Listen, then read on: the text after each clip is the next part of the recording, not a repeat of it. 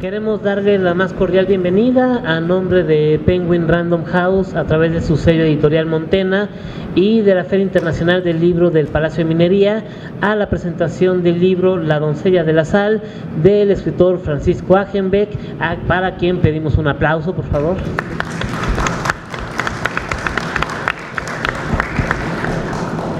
Y también pedimos un aplauso para Raquel Castro, quien nos acompaña en esta presentación.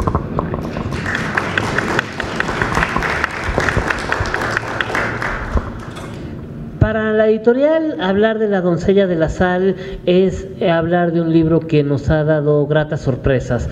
Es encontrarnos, o más bien reencontrarnos con la novela de aventuras que muchos leíamos de niños, homenajes a escritores como, como Dumas, pero también es encontrarse con libros de aventuras que, está, que se salen de lo que es ahora o de lo que se cree más bien que es la literatura juvenil. Hay criaturas de colmillos, no llamados vampiros en este libro, espero que Francisco nos cuente al rato por qué no se llaman así, aunque tienen todas las características, pero encontrarse con esas criaturas que cumplen con la verdadera función de un vampiro, que es chupar sangre, no peinarse frente al espejo para conquistar a una doncella que también quiere andar con un hombre lobo. Es encontrarse también con criaturas mitológicas, es encontrarse con varias leyendas que dan lugar a una historia verdaderamente fantástica, que es encontrarse con la historia de Clarissa von Zweig, que es nombrada como la doncella virgen del reino para ayudar a un arzobispo, al arzobispo Marcus Cíticos de Salzburgo, en, en su máxima quimera, que es encontrar al unicornio, capturar a un unicornio. Y con el correr de las páginas, la doncella debe entender cuál es su verdadera función. Y para hablar de esta novela, quisiera, bueno, antes que nada presentar a Raquel Castro.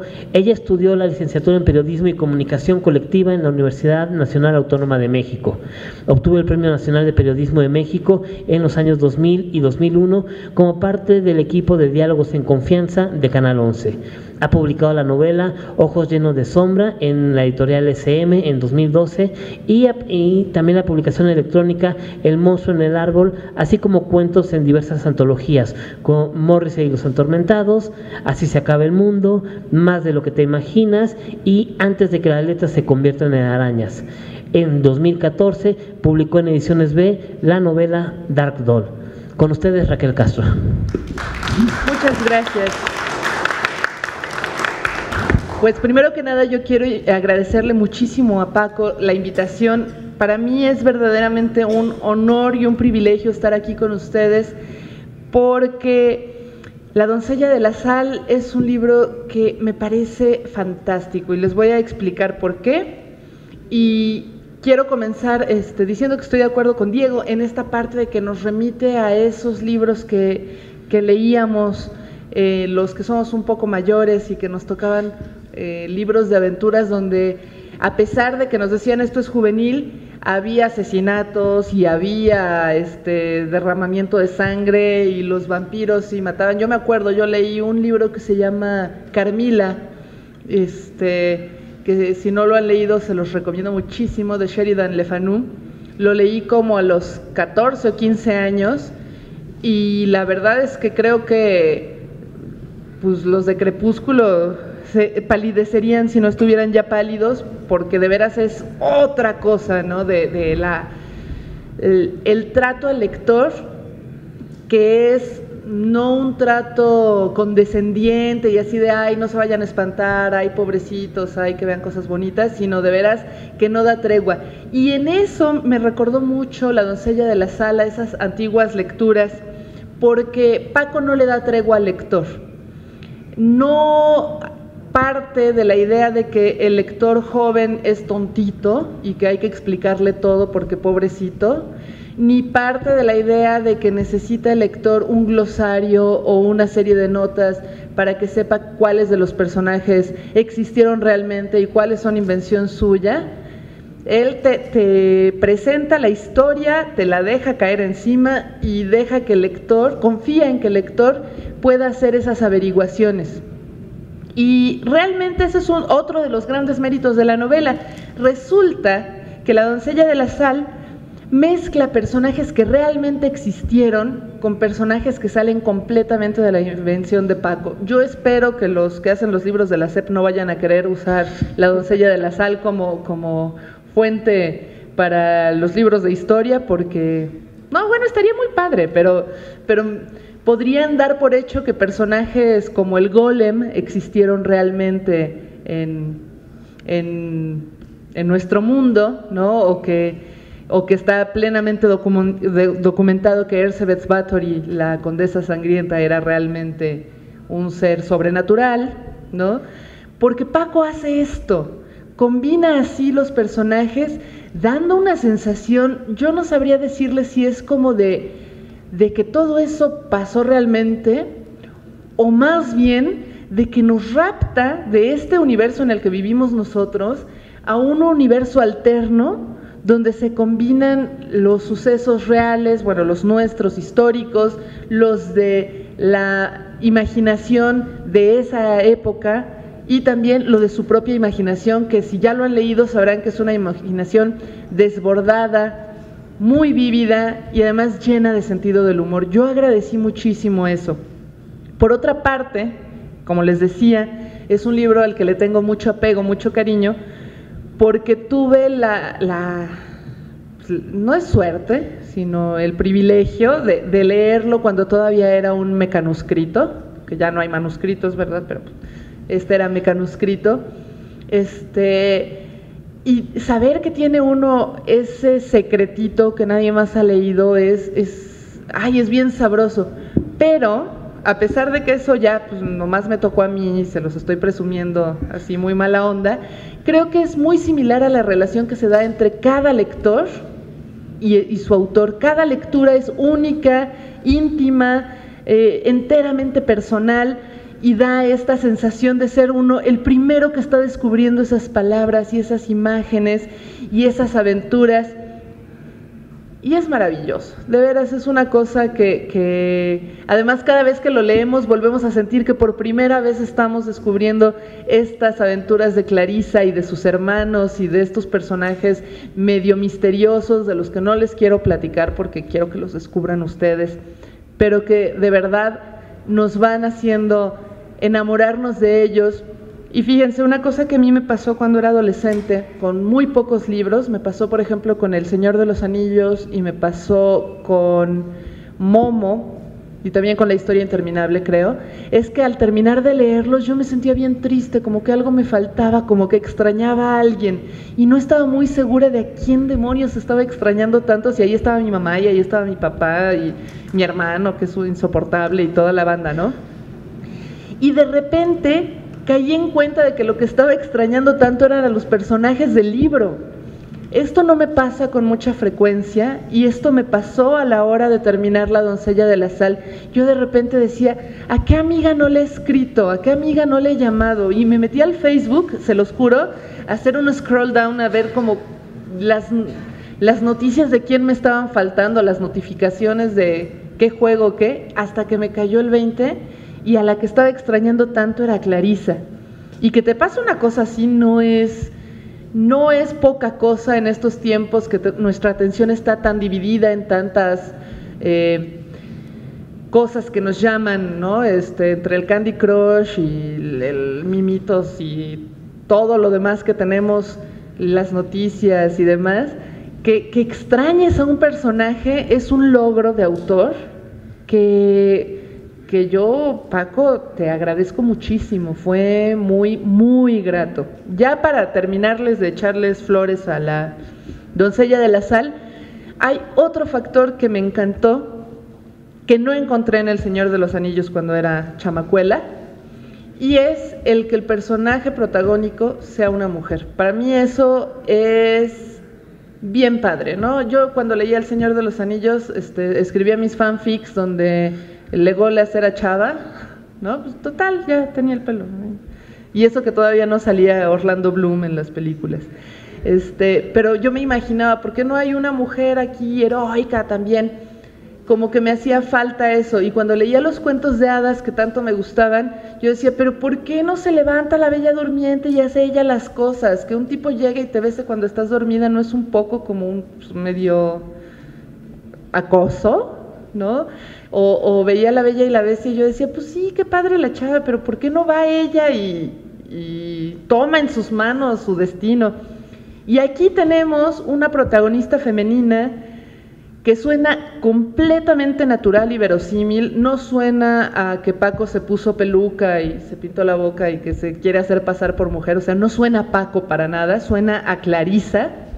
Y también tenemos un personaje masculino que es un eh, aventurero que, valiente y que le enseña a ella mucho de lo que sabe. Entonces tenemos esta verdadera equidad de género con dos personajes, un hombre y una mujer, que aportan a la historia aventuras, emoción, también por ahí hay alguna cosa medio...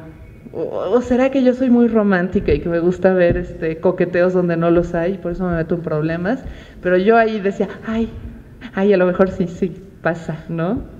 Entonces, en resumen, por favor, Vayan, bueno, ahorita que acabemos, no dejen hablar a Paco solo, pero vayan, compren La doncella de la sal, disfrútenla muchísimo.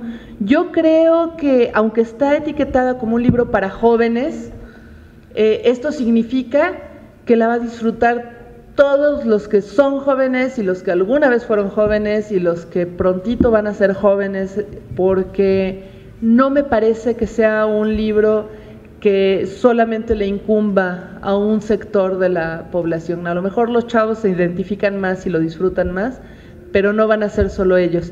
Y lo otro, ya que le estén leyendo, tengan a la mano su, su computadora para que googleen a los personajes que les suenen así como que, ¿este habrá existido o no? Y se van a llevar cada sorpresa y van a aprender tantas cosas digo, hasta, hasta para eso va a servir. Si los cachan en el salón leyendo, pueden decirle a la maestra que también es este, educativo, ¿no? Sin que eso quiera decir que es aburrido. Pues Paco, muchísimas, muchísimas gracias. En serio, muchas gracias a ustedes por estar aquí habiendo tantas salas y tanta gente y tantos problemas en el centro. Y yo les cedo la palabra al autor.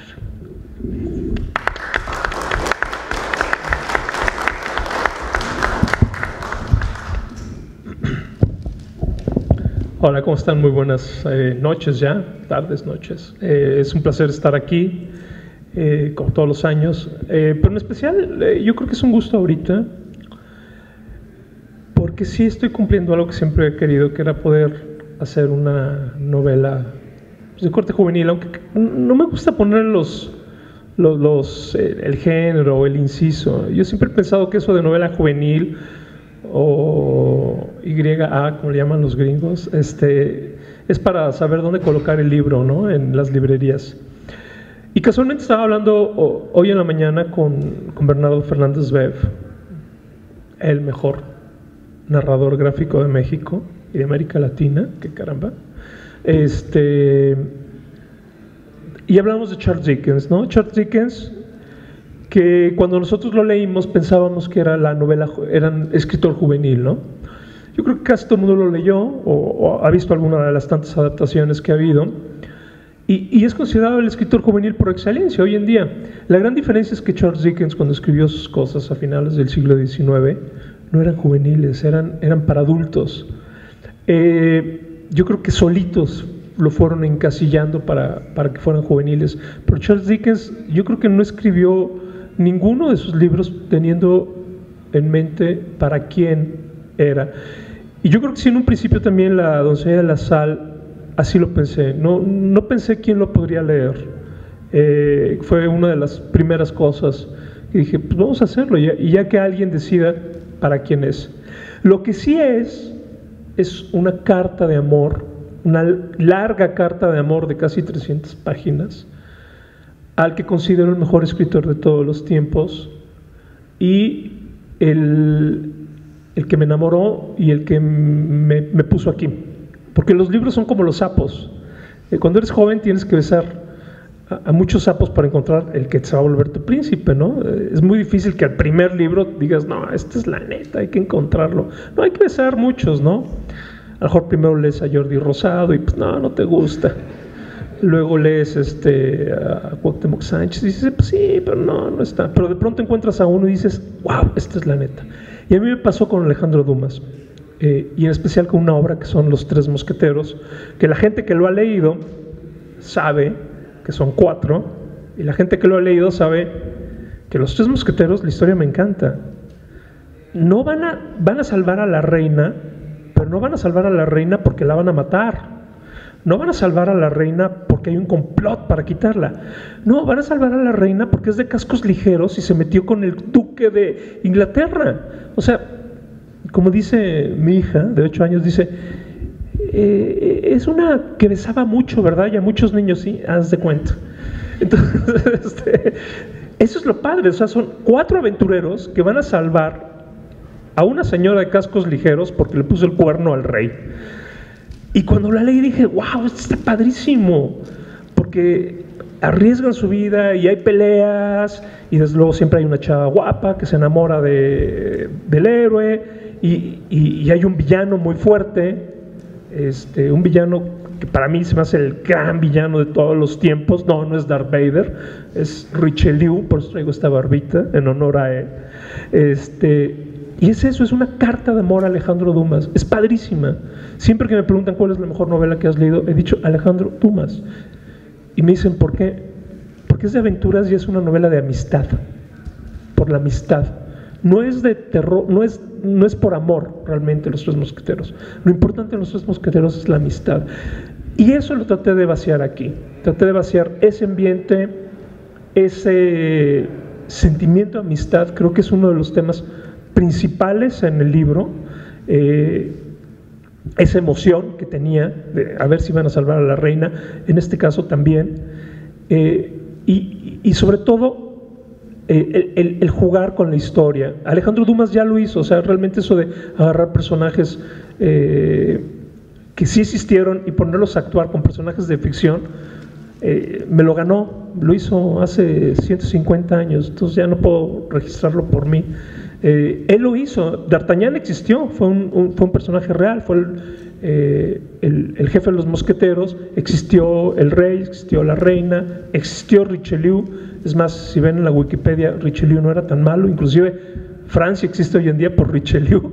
Si, si lo hubieran quitado los mosqueteros, se hubiera fregado Francia. Este, eso es, es una gran historia de amor. Eh, traté de recuperar esa emoción que tuve cuando yo tenía aproximadamente 10 años de leer Los Tres Mosqueteros y leerla y leerla y querer saber este, qué sucedía después. Desde luego, es distinto hacerlo una, cosa así a los 150 años que nos divide este libro con el de Alejandro Dumas, que sigue siendo mejor el de Alejandro Dumas, ¿eh? si la perdón que lo diga, pues sí, sí es mejor libro. Este, desde luego quería que fuera una mujer, que fuera una chava, que fuera una niña, este, los ojos de mi libro. No nada más el personaje principal, sino los ojos. Eh, porque una cosa es tener al personaje femenino como, como personaje principal, que uno podría decir, bueno, es la moda, ¿no? En los Juegos del Hambre es femenino, en Divergente es femenino, en Crepúsculo es femenino, en 50 Sombras de Grey es femenino. Este, no, no, sí, realmente quería que fueran los ojos, para que tuviéramos la capacidad de admiración que tiene un joven o una muchacha en ese entonces, la capacidad de admiración de poder ver cosas que están ahí, como los castillos, o la elegancia, o los vestidos, o un golem, o un dragón, o, ejércitos paranormales, o, todas estas cosas que, hoy en día también me alimentaron. Entonces también ocupé o pedí prestado la literatura que después encontré después de los que, que leí después de los mosqueteros, desde luego Drácula de Bram Stoker, desde luego Dr. Jekyll, Mr. Hyde, Frankenstein, uno de mis libros también favoritos de ciencia ficción. Sí, sí es de ciencia ficción.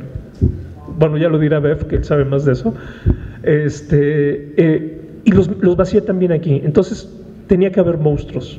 También de, joven era, era el rarito, ¿no? Era el que leía libros y el que le gustaban los monstruos, ¿no? Entonces sí, había que ver monstruos y había que ver mucha aventura. Y es eso, de eso va. No sé si sea juvenil, eh, porque la leyó mi papá, este es mi libro número 15, y me dijo, es el libro que más me he divertido. No sé si preocuparme o no, mi papá tiene 82 años. Este, lo leyó mi mujer, que es mi peor crítica. Eh, Letras Libres se queda chiquito en comparación de mujer. Me acuerdo que lo leyó toda la noche, entonces cuando me desperté lo estaba acabando de leer, como a las 7 de la mañana. Tiene un humor muy ácido. Me lo avienta el libro y me dice, vaya, 15 libros y hasta que por fin escribes uno bueno. este, bueno, ya ya tiene tiene una edad, no lo voy a decir, dicen que es de mala educación. Este, pero también lo ha leído eh, gente joven y le ha gustado. Entonces yo creo que es un libro que está buscando a su lector, más que decir que es una novela juvenil, como decía Los Sapos, que está buscando a su lector para que lo bese y se convierta en príncipe.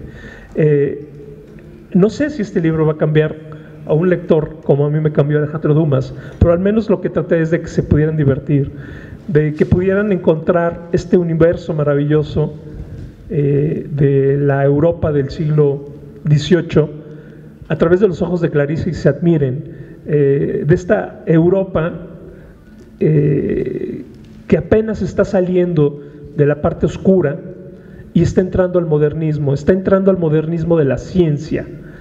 Yo creo que también era una ruptura, era jugar con lo paranormal y con la ciencia al mismo tiempo. Es eh, es uno de los temas también muy importantes del libro, la confrontación de la fantasía contra la ciencia. Y, eso es también eh, uno de los conflictos que traté de poner en el libro. Eh, rápidamente, ya nada más para terminar, porque si no me siento mal hablando de mi libro. Bueno, pues hay que hablar bien de él, es como un hijo, ¿verdad? Aunque está bien feo, pues dices, ah, está bonito. Este, todo sucede en Salzburgo, todo el mundo me pregunta y dice, ¿por qué la doncella de la sal? Es más, hace rato me preguntaron si tenía que tener referencias bíblicas por lo de la sal. Y dije, no, porque todo sucede en un pequeño, eh, en ese entonces era un país, un, este, en un territorio dominado por la Iglesia Católica, era del Vaticano, que se llamaba Salzburgo y que los, los gobernantes eran príncipes arzobispos que aparte me gustaba la combinación, era realeza, pero aparte tenías que ser religioso. Este, y este pequeño lugar, que era muy chiquito, era el país más rico de Europa en esa época, porque era donde salía toda la sal, por eso es Salzburgo, toda la sal venía de ahí. Y la sal es muy importante cuando no se tiene ni McDonald's ni refrigeradores para la carne, pues echaba a perder, entonces había que salar la carne. Y también la necesitas para las armas de fuego, que en ese entonces estaba pasando la primera gran eh, guerra en Europa, que es la guerra de los 30 años, donde, donde entraban varias eh, naciones. Entonces era uno de los estados más ricos, pero era neutral. Era como, como la Suiza de la Segunda Guerra Mundial. Y, y como tenía tanto dinero, todos los reyes eran, los eh, arzobispos eran exóticos. Entonces tenían una obsesión, cada uno de ellos tenía una obsesión. Y Marcos Cíticos, que sí existió, su obsesión es real, era tener el zoológico de animales raros más grande del mundo. Fui una yo, yo estuve en Salzburgo, tuve la, fortuna de, de, ser niño funky, así como Raquel estuvo en Canadá también. A mí me mandaron a Salzburgo. Este, y fui a ver el zoológico ¿no? de, de, Marco Cítico. Yo vivía ahí en, que es un lugar precioso, es, parece como, como de, caricatura, porque todo como todo antiguo se ha mantenido así durante tres siglos, eh, perdón, tres, eh, tres, siglos, estoy diciendo, 300 años, bueno, sí, tres siglos, eh, más o menos. Eh, entonces es hermoso y fui a ver el zoológico y claro, tenía animales exóticos, tenía, por ejemplo, papagayos. Tú dices, bueno, ¿eso qué tiene exótico? No, pues es que ubíquense en el 18, tener un papagayo era rarísimo, tenía cebras, tenía, este, tenía changos, tenía, eran cosas que eran muy difíciles de conseguir. Y entonces, estando ahí, leí que su máxima obsesión, hasta mandó a hacer la jaula, que por cierto eso no viene en el libro, se me olvidó ponerlo, mandó a hacer la jaula para capturar al unicornio. Porque la leyenda decía que quien tuviera el unicornio iba a tener el poder de, la religión católica, porque el unicornio siempre fue una referente de Jesucristo. Entonces iba a tener el poder y también la inocencia y era la sangre del cordero. Entonces era quien, iba a tener el unicornio iba a dominar Europa. Entonces en su obsesión mandó a contratar a varios mercenarios para que lo fueran a conseguir. Ese dato sí es real. Entonces, como todos los libros, todos los libros yo creo que eh, comienza con una pregunta de ¿qué pasa si hubiera pasado esto?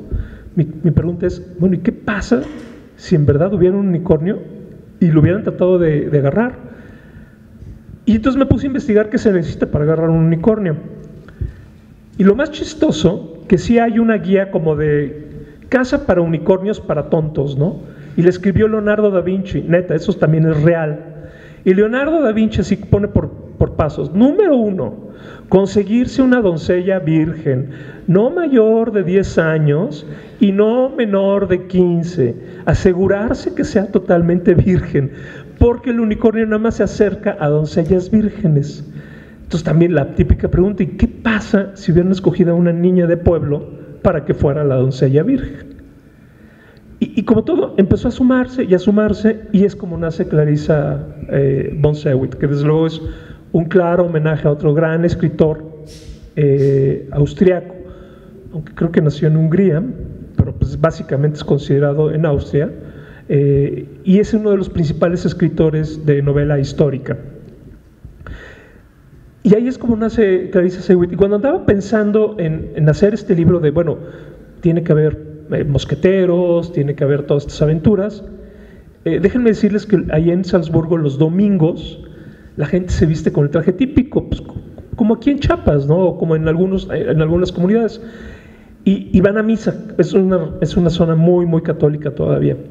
Este, que por cierto, déjenme decirles que yo iba a misa, cosa que hacía años que no iba, porque en la misa de siete tocaba la Sinfónica de Viena y era de a gratis. Y entonces cuando leí que iban a tocar el Requiem de Mozart, dije, no, pues esto hay que verlo. Casualmente en la catedral donde lo compuso Mozart, bueno, la película dice que con Salieri también, este, piense que no había micrófonos, para ese lugar lo, lo compuso. Y cuando iba caminando, iba una familia con los trajes típicos, que vas en la plaza, en una familia como de 6, 7 eh, niños, casi todos eran hombres, y había dos mujeres, y había una muchacha como de 15 años, poquito menos, yo creo como 14 años, rubia, rubia, rubia, el pelo chino, chino, chino, con el traje típico este tirolés, y se volteó a verme y me sonrió. Y dije, ella es, ella es Clarisa. Y así fue como nació Clarisa. No sé quién era, no tengo idea de su nombre, es todo, era una niña que iba a misa y fue como nació, o sea, se me presentó. Y dije, ella es mi, heroína. Y lo primero que hice, después del Requiem de Mozart, de, oírlo, fue regresar a escribirlo. Ahí fue cuando comencé, fue mi primer día donde escribí esta novela. Eh, y bueno, como dice Raquel, aparecen mercenarios, aparecen vampiros. Eh, sí, aunque la palabra vampiro no aparece en, ningún, en ninguna parte del libro. Eh, ¿Por qué? Porque la palabra vampiro la pone realmente Bram Stoker. Eh, y Bram Stoker lo escribió ya casi a finales del siglo XIX. Entonces, como todo está visto desde la primera persona de, de Clarissa, una parte y otra parte, pues no podía decirle vampiro porque todavía no había leído Drácula. Entonces, en ese entonces les llamaban vampires o los eh, muertos andantes. Y no, no había visto Walking Dead. Era, era realmente así les decían. Entonces, este personaje que aparece, que es la, villana, eh, Bartori, sí existió también. Y es considerada, yo creo, hoy en día uno de los asesinos seriales más importantes que ha tenido la historia. Mató a 300 vírgenes y se bañó con la sangre de ellas. Entonces, por eso mismo, porque ella pensaba que con la sangre de ellas iba a vivir por siempre. El problema es que era de la realeza. Entonces, en la realeza, acuérdense que no, en ese entonces todavía no podían matar a los, este, a los reyes. Entonces, lo que hicieron fue este, ponerla, bueno, la, ponerla detrás de un muro para que ahí se muriera. Eh, y ahí sigue enterrada todavía. Entonces también la pregunta de, bueno, ¿qué tal si en verdad fue una vampira y ahí sigue, ¿no? Sigue viva. Este, y entonces sí, también aparece ella, aparecen dragones y, y para terminar, eh, aparece el golem. Yo creo que el golem es uno de los personajes que más me gustan porque vienen de una mitología muy olvidada que es la mitología judía. Eh, el personaje del golem se hace padrísimo. Yo amo los robots. Yo soy como Guillermo el Toro, también hubiera hecho una película de robots gigantes. Entonces, para mí el golem es el primer robot gigante que hay. Digo, es de piedra y todo, pero me lo imagino perfectamente como un Ultraman eh, de piedra. Entonces dije, no, pues ¿por qué nadie lo ha usado? Una guerra así de golems gigantes, como si fueran grandes robots. Y desde luego tenías que tener un operador, porque el chiste del golem es que hay que ponerle unas letras del Kabbalah. Y aparece uno de los personajes que más me gustan, que es Zach Loeb, que también siento yo que es eh, otro de los personajes olvidados en la literatura, el, el, personaje judío de la época, que tenían que estar viviendo eh, escondidos todo el tiempo, porque había persecución judía pero era un genio, entonces para esconderse, también la pregunta de por cómo lo haría, era un astro del disfraz, ¿no? Entonces todo el tiempo andaba disfrazándose y era como un James Bond, un rabino James Bond judío que manejaba el golem. Entonces todas estas cosas las uní y las puse en esta historia de amor y la traté de compartir, compartir con el lector que quisiera leerla. Y solamente rogué que lo viera con el mismo gusto y con la misma admiración que yo tuve cuando leí a Alejandro Dumas.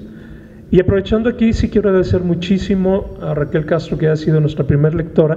No acostumbro yo usar lectores con mis libros. Creo que fue la primera vez, la segunda vez que, que di a leer un manuscrito para pedir su opinión. Andaba muy inseguro y, y dije, bueno, se lo voy a dar a la mejor escritora juvenil que conozco y ella es Raquel Castro. déjenme decirles que sí es la mejor escritora juvenil hoy en día. Ojos llenos de sombra es una maravilla. Y con miedo se lo entregué y dije, bueno, a ver, deshazlo, ¿no? Y, y no nada más lo leyó, sino en verdad se puso a darme tips muy importantes, a corregirlo, a mejorarlo, eh, a tratar de de que no me viera tan tonto tratando de hacer las cosas que ella sabe hacer muy bien. Entonces le debo de agradecer muchísimo a ella su lectura, su paciencia y que me haya asesorado en este experimento que espero que a la gente que los lea lo encuentren igual de maravilloso como fue para mí escribirlo.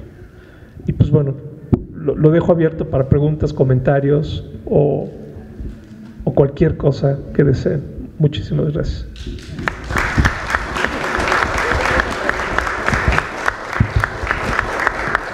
Voy a aprovechar para hacer la primera pregunta y bueno, primero este, estoy toda chiveada por esto que dice Paco. Imagínense la emoción de, de, que un autor como Paco me dijera, oye, quiero tu opinión. Híjole, no, no, no me la creía, de veras. Pero bueno, la pregunta, ¿Cuánto tiempo de investigación? Porque estuviste en Salzburgo, ibas con otro proyecto, supongo, este te cayó encima y no te soltó. ¿Y cuánto tiempo le dedicaste a la investigación y, a qué tipo de, documentos echaste manos para investigar? Porque supongo que no te basaste en la novela de alguien más o en, en la Wikipedia, obviamente, ¿no? Entonces, eso me interesa mucho saber. Sí, originalmente fue con, un proyecto sobre Maximiliano, es otra de mis obsesiones, perdón, el Segundo Imperio Mexicano me encanta. Ya había hecho una novela del Segundo Imperio, entonces, bueno, dije, no, vamos a escribir Maximiliano, que no sé qué, que no sé cuánto, ya sabes, el rollo que les echas. Y ya cuando llegas allá, eh, me pusieron en una casita chiquitita, en un campo lleno de, que aparece en el libro, lleno de flores amarillas, que me sentía Heidi, cada vez que salía me daba vueltas y sentía, abuelito, ¿dónde es? Era increíble. Y lo primero que veía era el castillo. Era un el castillo de Salzburgo, que es gigantesco. Nosotros no... Tenemos cosas hermosas en México, pero el concepto del castillo no lo tenemos. Hasta que estás presente de un, de un castillo, sientes el poder que tenían los reyes en ese entonces. Sientes la atracción que tenían. Eh, algo, hay algo mágico en el castillo. Ahora entiendes por qué lo usa Walt Disney de, de, ícono, ¿no? El castillo de, de, la Cenicienta. El castillo es algo único. Y entonces dije, Maximiliano, no tuviste castillo, tu, castillo estuvo muy feito, bueno, es bonito, pero sí está medio feito, ¿no? Si no le llega, vámonos mejor con, con Marcos Cíticos. Entonces lo cambié. Y me puse a investigar ahí, me puse a investigar directamente en Salzburgo sobre Marcus sobre qué sucedía, sobre la... Soy arquitecto, sí, soy arquitecto. Mi papá dice que tiene dos hijos, una hija y un arquitecto. Entonces, sobre la arquitectura del lugar, cómo eran en ese entonces las, las calles, cuáles eran los barrios judíos, este, cómo era la ropa. Eh, algo muy raro, me puse a investigar la ropa, fue lo primero que me puse a investigar, cómo se vestían. Este, porque lo que quería hacer era una película como Los Tres Mosqueteros, y lo más para los Tres Mosqueteros es la ropa. Entonces, la ropa, y desde luego se me acabó la beca y me regresé. Y entonces sí empecé, tuve que empezar a buscar libros y hay muy poco sobre el tema, es muy chistoso. Si te metes a internet a Salzburgo, lo único que te aparece son dos cosas. Mozart, que por cierto Mozart era de Salzburgo, eh, todo el mundo dice que es austríaco, no, es de Salzburgo, porque en ese entonces no existía, era, era Salzburgo el país. Y aparece la novicia rebelde. Y o sea, tú pones Salzburgo y aparece Julie Andrews. Que por cierto que bien canta Lady Gaga, ¿eh? las canciones. Este, entonces sí tuve que inclusive comprar libros en alemán porque hay muy poca información, traducirlos. Hablo, después de tres meses, lo único que aprendí fue a pedir café. Y era muy fácil, café, ya. este, y danke. Ya, punto, gracias. Eh, entonces sí, lo tuve que traducir, tuve que investigar. Y empecé a investigar sobre todo los seres míticos, que fue la parte que más me gustó, los, unicornios. Hay cosas muy padres de los unicornios. El unicornio y los ángeles son los dos seres míticos, los dos únicos seres míticos que aparecen en todas las culturas del mundo. Eh, eso es muy interesante. Los ángeles aparecen en todas las religiones y el unicornio aparece en todas las religiones. Eh, se me hizo un factor muy, muy interesante. Y me puse a investigar la parte histórica de de la época, del ambiente de la guerra, me puse a investigar eh, el ambiente de, las ciencias, porque aparece Kepler por ahí, y toda esa parte para mí fue eh, muy difícil, pero también muy entretenido, porque yo estaba leyendo el libro al mismo tiempo investigando cosas.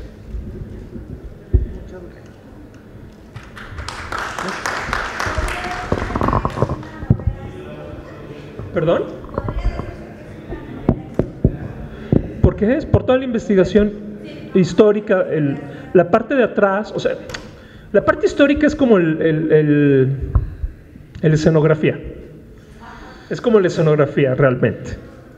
Es una novela con vestidos padres y con, con castillos, pero sí hay atrás una investigación histórica, pero no necesariamente tienes que saber de historia para entretenerte. Como los tres mosqueteros, ¿no? Realmente no, no pasa nada si no sabes bien la historia de los principios de Francia. Creo que es bastante...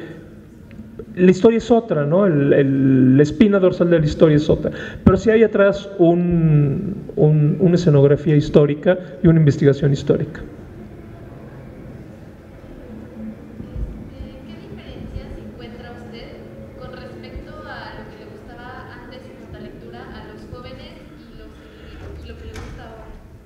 Sí, fíjate que hay una gran diferencia. Eh, número uno, antes no era lo que nos gustaba, era lo que había. Y generalmente eran clásicos, era Charles Dickens, Alejandro Dumas. Hoy en día ya son escritores que de esta generación que le están escribiendo directamente a los jóvenes. Entonces si hay otro lenguaje, hay otras situaciones y hay otro ritmo. Eh, no puedes competir con los videojuegos ni con la tele, tienes que estar cambiando. Tienes tienes que tener acción todo el tiempo. Eh, si te pones en cuatro páginas a describir los vestidos, pues no, ya, ya, ya, fuera, ¿no? Ya, siguiente cosa, te, vas a Angry Birds. entonces yo creo que sí hay una gran, gran diferencia. Pero en esencia es una buena historia. Eh, en esencia yo creo que funcionan las buenas historias. Tratas de hacer una buena historia y que comunique, que te comunique con alguien.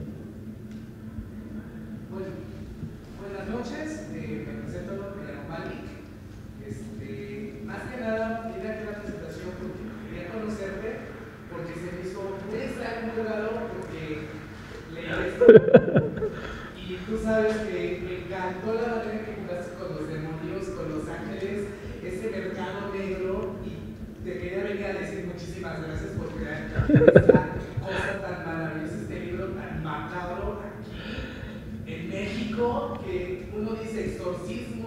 demonios nada más en el Vaticano y en base a todo esto dije, wow, luego me voy a enterar que sacas una novela juvenil donde hay doncellas, príncipes y dije, en un momento determinado la doncella se va a convertir un demonio va a devorar algo. Y ahorita que te voy escuchando, digo, qué creatividad, qué imaginación y qué atrevimiento a arriesgarse a escribir novela juvenil después de que creaste una novela de terror tan magnífica como esta. Dije, aún no tengo la oportunidad de leer Rocío de la Sal, pero ya con lo que ya me dio mucho gusto de buscarla, comprarla y leerla. Pero más que nada, quería agradecerte por escribir. Claro. Ya me obligó y renovaste el terror aquí en México de unas maneras Gracias. fascinantes. Es que tuve que escribir La doncella de la sal porque después de escribir El diablo me obligó, recibí una carta del Vaticano que me dicen, tú te vas a ir al infierno. Entonces dije, no, no, ahora sí, pero mira, también escribo cosas bonitas, ¿eh? Sí, no, ya me habían comprado el con tic- ticket sin regreso al infierno y este, y no, traté de hacer cosas. No, muchas gracias. eh, voy a cambiar de tema. Sí, El diablo me obligó, que también está en suma de letras. Este, es una novela que me ha traído puras cosas buenas. Eh, Gracias a todos los lectores por haberla apoyado, son muchos, lo sé, y, se lo debo a ustedes, que, han traído todas co- cosas buenas. El premio de la Asociación de Escritores de Terror de, de, de España, tuve el gusto de ser el primer mexicano en recibirla. Eh, la producción el próximo año de la serie de televisión, gracias. Este, eh, y bueno, me ha traído muchísimas cosas muy buenas. Eh, es difícil cambiar el canal de pronto una novela tan grosera, tan lépera, sí, la verdad es bien grosera, bien lépera, tan, tan oscura de pronto a, a- a eso. Pero para término medio, escribí antes la, la de La Primavera del Mal, que habla sobre el narcotráfico, entonces también como el punto medio. Eh, sí, lo que trata, te voy a decir la verdad, siempre trato de escribir la novela que a mí me gustaría leer en ese momento. Entonces siempre ando saltando de, de temas. Y, y bueno, y la que sigue, pues no tiene nada que ver con esto, ¿no? Este, que eso es lo padre. Yo creo que también Hablando como escritor, porque muchos, como dicen, me, me acomodo en un género y me quedo en ese género, ¿no? Y tú dices, no, ahora quiero escribir de narcotráfico, ahora quiero escribir de exorcismos, ¿no? Y más de, luego de doncellas. Dices, ahora quién me va a presentar bajo. Eres un cúmulo de sorpresas que dices, wow, gracias por el que hay escritores. Ah, muchas gracias. No, muchas gracias. ¿Sabes qué? Confirma que mi profesión no es ser escritor, es ser lector. Lo que quiero es leer los libros, eh, aunque sean míos. Yo sé que no van a ser tan buenos como los de otros, pero quiero leer ese libro. Yo quería leer libros sobre exorcismos y sobre, eh, sobre el diablo, y aparte de manera humor, así como si hubiera hecho Robert Rodríguez. O quería hacer una película que la podría ver, un- una novela que la podría hacer Peter Jackson, a lo mejor. Eso es, lo- o sea, por desgracia no te pagan tan bien siendo lector. Tienes que escribir libros. ¿Puedo agregar algo? Eh, otra, bueno, ya que te gustó tanto El Diablo me obligó, yo creo que hay unas partes bien terroríficas en La Doncella de la Sal. Ya hacia el final del libro sí hubo unos momentos en que yo estaba aterrada. Y a mí también me gusta mucho el horror. Entonces, hasta en eso no te va a defraudar aquí Paco. Y eh, lamento informarte que con esto no, todavía no te ganas el boleto al cielo, ¿eh? Estarás como por el purgatorio, más o menos. Sí, no, porque, porque también la visión que tiene sobre los príncipes, arzobispos y toda la, la, la política eclesiástica no es muy amable, es más bien, eh, pero está súper bien. Entonces, hasta de eso vamos a encontrar intriga y hay unas cuestiones medio interesantes de, de, de que estos hombres de Dios, pues sí les interesaba más bien el, lo terreno, ¿no? Te va a gustar.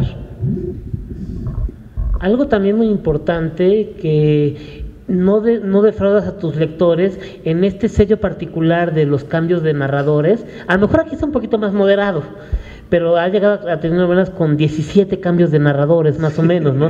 Esta nada más hay dos cambios. Dos cambios. Sí, son las dos cosas que se han vuelto ya mi sello. Los cambios de voces, que siempre me preguntan que por qué los escribo porque son confusos. Este, a mí no se me hacen confusos, pero bueno, eh, porque creo que es más divertido estar viendo las cosas desde distintos personajes y, y los saltos en el tiempo. Pero en esta no hay saltos en el tiempo. Ahí sí quité, es la primera vez que escribo un libro donde no hay saltos en el tiempo.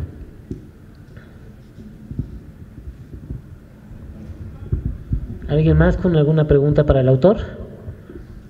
¿Por qué te interesan los personajes que sean eclesiásticos y reyes? En este caso, eh, más que eclesiásticos, era porque era un país manejado por el Vaticano. Eh, aparte era un- eh, es algo único, no había habido realeza eclesiástica. O sea, realeza en el concepto europeo eclesiástica, ni siquiera el Papa era de la realeza. Podía ser de la realeza, pero no necesariamente. Digo, los Borgia, el, Papa de Borgia creo que era, no sé si era duque, era realeza. Este, entonces se me hacía muy interesante que tiene que tener esos dos conceptos. Eh, ahí es la parte que me interesa. Realmente la parte del en el diablo me obligó, es- no, no, no hablo mucho del- de, de la parte eclesiástica, es más bien sobre los demonios. Pero este es sobre todo la parte histórica lo que me interesa, se me hacía muy, muy interesante, porque sí, los, eh, los conflictos y todos los complots que había atrás, eh, se- podrías hacer una novela sobre eso, eran eh, era realmente eh, como de Juego de Tronos, era realmente así, de ese tipo, ¿no? De que se peleaban entre ellos, y se encarcelaban y se traicionaban y todo por tener el poder. Se me hace muy, muy interesante. Bueno, perdón, eh, creo que ya, ¿verdad? Sí. Siempre que estoy en una feria, termino así mis, mis este, pláticas. Estamos en una feria de libro.